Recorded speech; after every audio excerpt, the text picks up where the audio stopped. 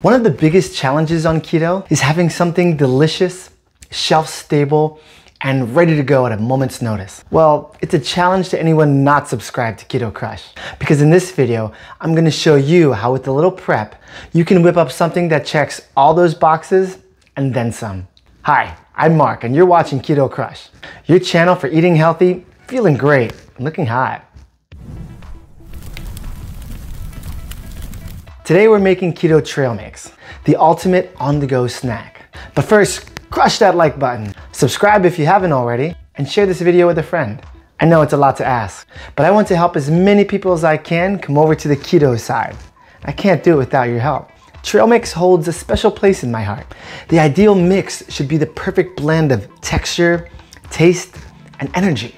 When I was on carbs, that energy came in the form of oat clusters, sugar, maple, honey, and raisins. But I'm 38 now, and I don't mess with sugar anymore in any of its forms. On keto, I now rely on fat for energy.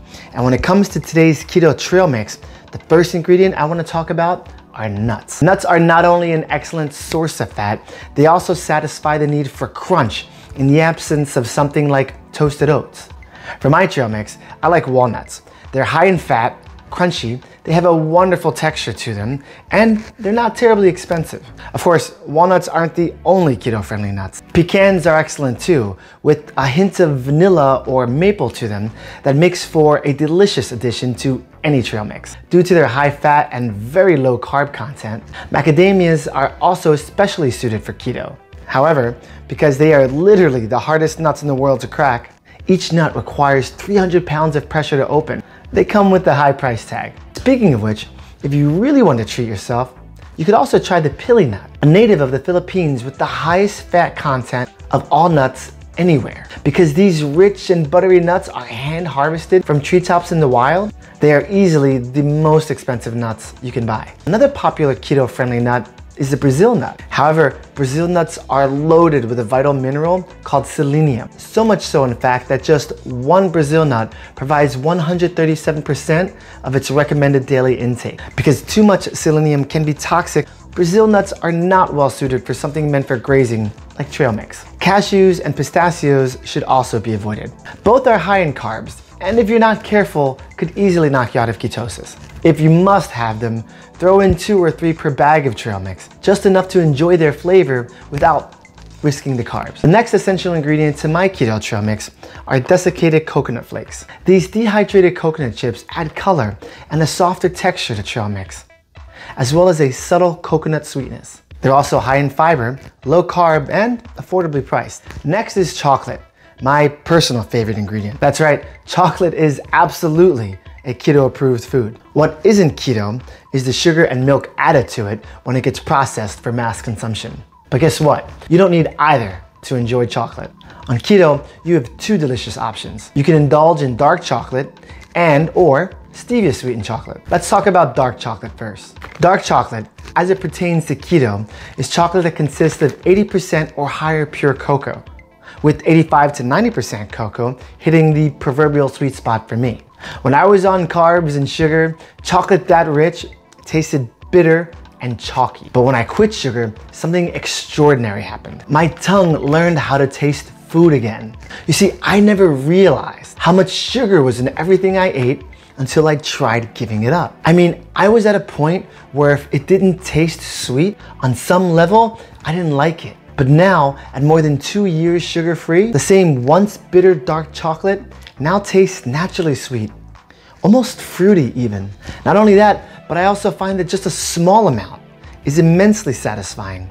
So much so that a single bar can often last me weeks. Should you opt for dark chocolate in your trail mix, be mindful of the percentage you choose and the net carbs per serving. And to get the most from a single serving, be sure to break up the chocolate into smaller chunks.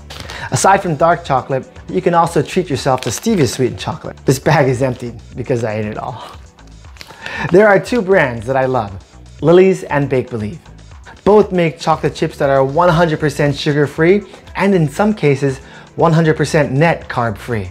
Because they're sweetened with blends of stevia and erythritol, they're almost completely indistinguishable from their sugar sweetened counterparts. So much so that even my kids can't tell the difference. Seriously, this stuff is incredible and it's a remarkably simple cure for any lingering sweet tooth. The last essential ingredient to a proper bag of trail mix are raisins. Since those are off limits, raisins are shockingly high in sugar. Craisins, the trademark name for dried cranberries, make for the perfect substitute. Wait a minute, aren't dried cranberries high in sugar? Absolutely. That's why now I'm gonna show you how to make them sugar-free. Buy a bag of fresh cranberries, cut them in half long ways, this can be time consuming, so I recommend knocking out a few bags at once and maybe even recruiting a helping hand. The next step is to toss them in avocado oil and then sweeten them with your favorite sweetener. I love avocado oil for a variety of different reasons. It has a high smoke point, which makes it great for cooking.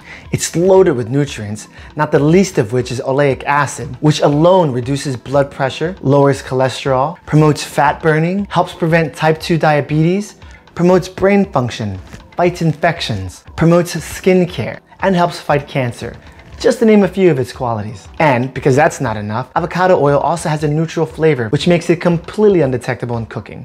When it comes to a sweetener, I have two favorites. The first is what's called allulose. Allulose is a simple sugar, or a monosaccharide, that while rare, occurs naturally in nature, in staples like wheat, figs, and raisins. It looks, tastes, and feels very much like sugar. However, unlike sugar, it isn't metabolized for energy. Instead, it's eliminated from the body through urine. Pretty wild, huh? The second sweetener is a brand of erythritol called Purecane. The makers of this sweetener stumbled upon the chemical that makes stevia sweet without the bitterness of stevia leaves or the carbs from sugar. It's shockingly similar to sugar, especially in baking. Because neither of these sweeteners are absorbed by the body, I don't recommend them in large single quantities, like say a spoonful in your coffee. That's too much at once and it will upset your stomach. However, spread out in a recipe like this one, where it'll be consumed in small portions with something solid to slow digestion, it's an absolute keto must have.